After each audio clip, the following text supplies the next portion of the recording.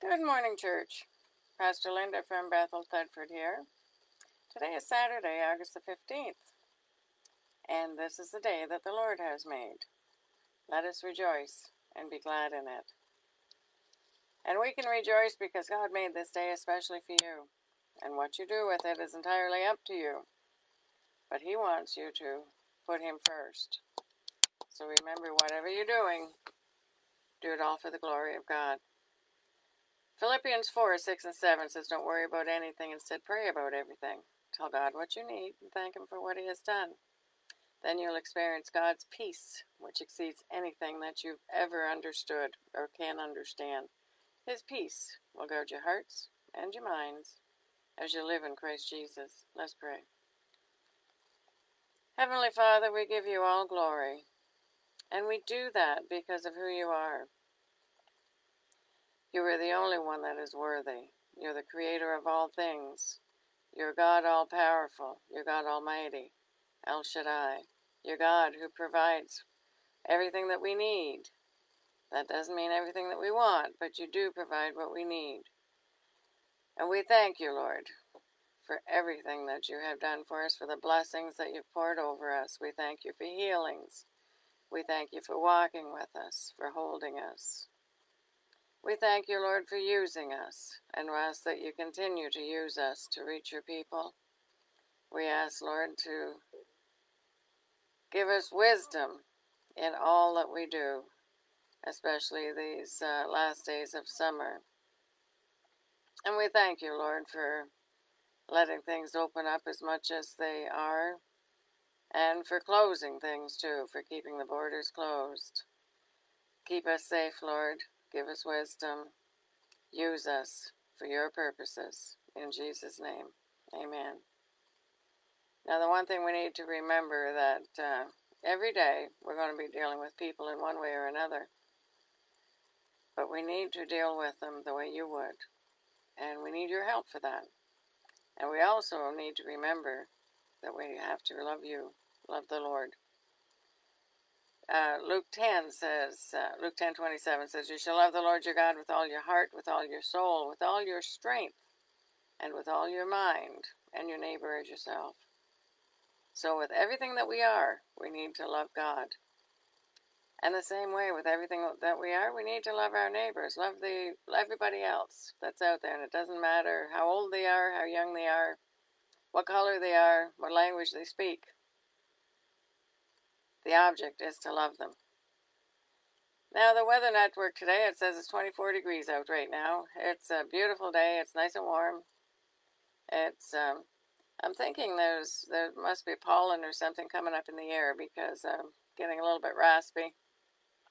So that's usually a clue that allergies are coming around again, hitting a little bit harder. It's to be a high of 27 today, so that's going to uh, feel quite warm. It'll be uh, clear through most of the day. Tonight it's supposed to go down to 20, and we can expect a few showers because it's saying it's at 70%. And we can expect um, 2 to 4 millimeters, which isn't a whole heck of a lot. It'll be enough to uh, wet the dust. Proverbs 3 5 to 6 says, Trust in the Lord with all your heart. Do not depend on your own understanding. Seek His will in all that you do, and He'll show you the path to take. Don't think you know everything because you don't. The only one that knows everything is God. And that's why we count on Him to give us wisdom. Our COVID reports, the confirmed cases in Sarnia Lambton is 331. The um, increases, there aren't any increases. The deaths are still at 25. And you know, we can re- be really thankful for that. That's since um, the middle of June that there haven't been any deaths related to COVID. The uh, confirmed recovered 295, so now we're down to 11 active cases in the area. And that's all through uh, Sarnia Lambton. Ontario report uh, confirmed cases 40,565. And the new cases, it's disappointing because we're back over 100. It's at 106. The uh, number of deaths uh, due to COVID, it's uh, up one, so it's at 2,789. The confirmed recovered, 36,873. Now, good news, there's only 39 uh, cases related to COVID in the hospital. So that's improving drastically. Uh, in the ICU, it remains at 17. On the ventilator is up one, it's at 10. The active cases is up again as well, that's at 903. The uh, Canada report, there's 121,652 confirmed cases, and that uh, we've got over 400 again on that for the day. It's at 418. Number of deaths is up by five. That's 9,020 now. And confirmed recoveries is 107,942. The active cases across Canada is up. It's to uh, 4,690. Now, everybody has already heard this, I'm sure, but I'm going to tell you again anyway. The federal government is extending the Canada US land border closure for another 30 days, so it's going to be uh, closed until September the 21st. Public Safety Minister Bill Blair made that report yesterday.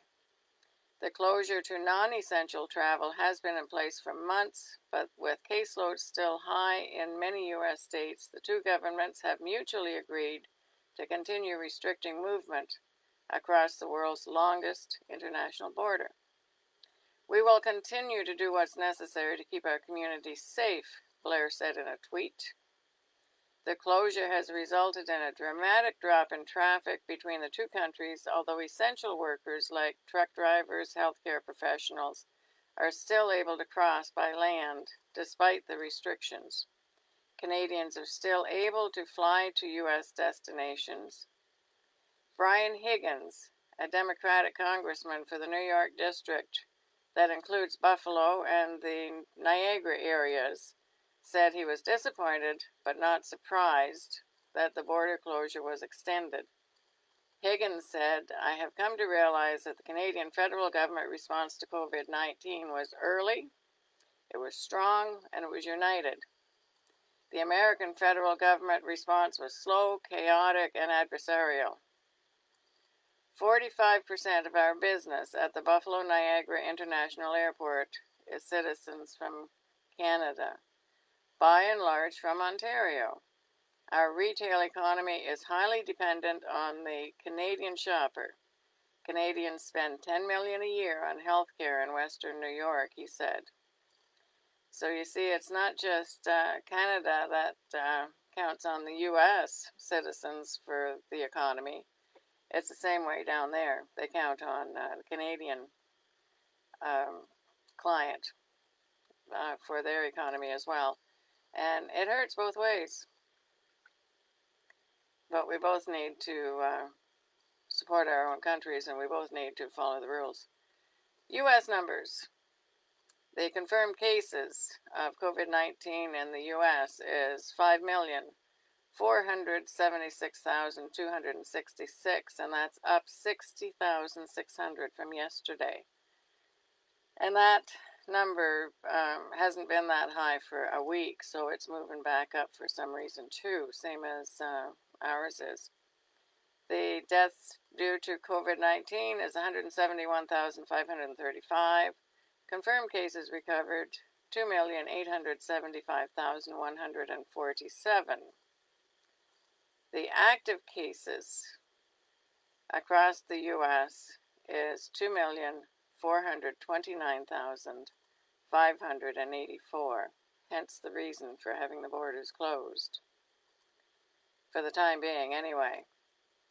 Uh, I think everybody's doing the same thing. We're waiting to see what happens when schools open here before uh, things start to open up. Well, things are allowed to open up now, but I mean, uh, before I know with uh, the church, we're waiting to see what happens at the schools.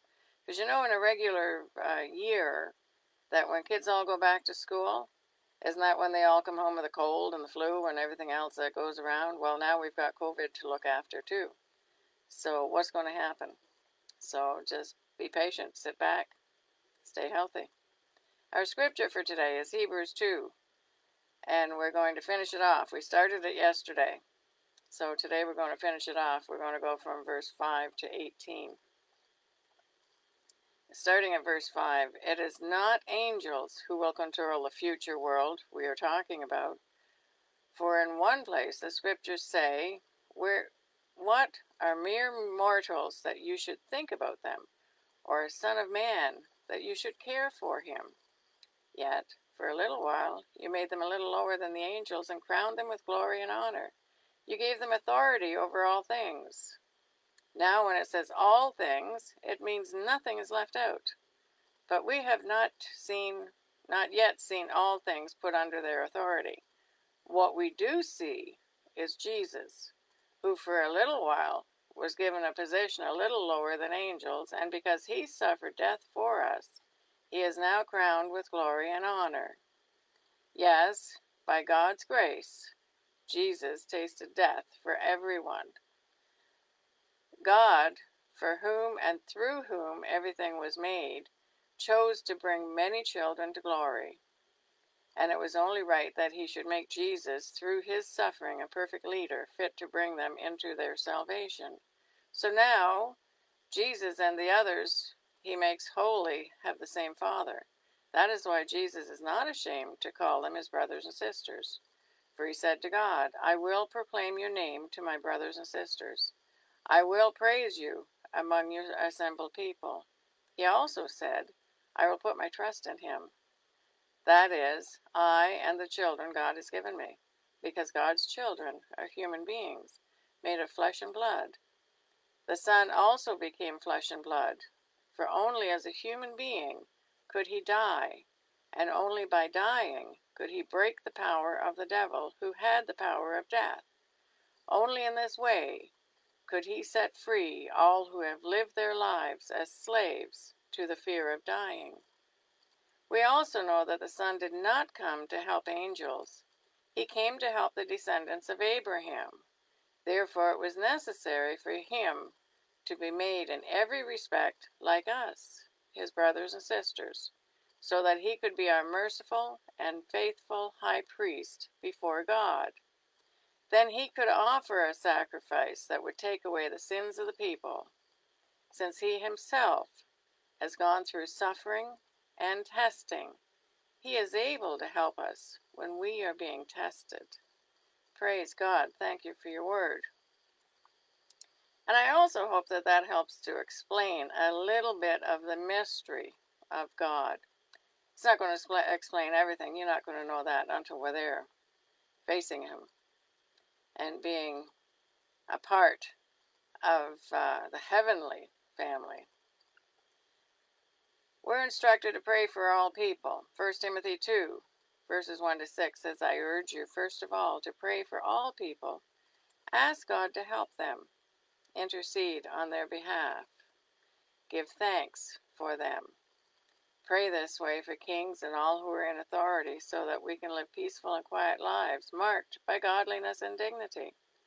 This is good and pleases God our Savior, who wants everyone to be saved and to understand the truth. For there is one God and one mediator who can reconcile God and humanity, the man Christ Jesus. He gave his life to purchase freedom for everyone. Let's pray. Heavenly Father, we thank you for loving us, for directing us, for using us, for sacrificing for us. We thank you, Lord, for the salvation that you have offered each and every one of us. And I pray, Lord, that you give us the wisdom to accept that I pray, Lord, that you build our faith, that you open our eyes. Sometimes we don't see, sometimes we have blinders on. Open our eyes, Lord, so we can see the beauty of your earth, the beauty of all your creation, and also see what the sacrifice was all about. That our sins were taken and put on the cross with your Son Jesus. And when we accept the message and believe it that we also become your children. Lord, I lift up all of our leaders and ask that you continue to use them, direct them, help them to make the right decisions. And I'm thankful for our leaders, Lord. Doesn't mean I have to agree with everything they say and do, but I can be thankful for them and I can appreciate what they're doing. And most of all, I can pray for them. Not only the leaders in this country, but the leaders in all the countries. Lord, I ask that you hold them close. And Lord, we lift up Mr. Trump to you and ask that you speak to him, touch his heart, give him wisdom, Lord. Let uh, the directions that he gives be effective, and let healing come to that country. And we're thankful, Lord, that He's um, working with your chosen people, with Israel, that uh, all goes well there. Help the rest of the world to realize that if your people, if Jerusalem is blessed, then they'll be blessed as well. And there's nothing difficult about that direction. Help us, Lord, to hear your word and to follow your word. In Jesus' name, amen. Ephesians 4 3 says, You are joined together with peace through the Spirit. So make every effort to continue together in this way. You should not only follow God's word, but you need to trust it in all things. Because it's there for each one of us. It's there to help us. Isaiah 41:10 says, "Don't worry because I am with you. Don't be afraid because I am your God. I will make you strong and I will help you. I will support you with my right hand that saves you. Continue to just take that couple of minutes a day to pray for each other and to lift people up. You know, I get a lot of um, emails. Um, some I've subscribed to. I subscribe to several lists um, of, excuse me, devotionals and uplifting messages. You know, sometimes you just get the little verse that comes in, the verse of the day, and that sort of thing. Well, the one subscription I'm on is um, from a young lady, Lisa Appelo, and she's, um, she's a single mom. Her husband had died uh, young, and she was left with several children to raise on her own, and she's still doing that. And she dedicated her life to the Lord and everything that she does is for the glory of God. Well, I uh, the message I got from her yesterday, her email is, um, oh, what's it called? Hope. Hope something. Oh, the weekly hope note is what it's called. And this is what she says. She says, I don't know what you're trudging through right now, what you're facing, what you're waiting for, but this I do know. God is always right. Our job is to trust Him and not our own understanding, and then to stand with hands raised and heart filled as God works in us, through us, around us, despite of us. I thought that was uh, amazing. It was so right on. And that's something that we need to remember at all times. Something else is, whatever you do, do it for the glory of God, and that's 1 Corinthians 10.31. And we need to remember that we need God in all things.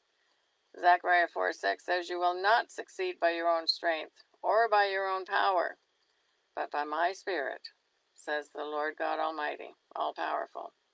God bless each and every one of you, and may God be with you until we meet again.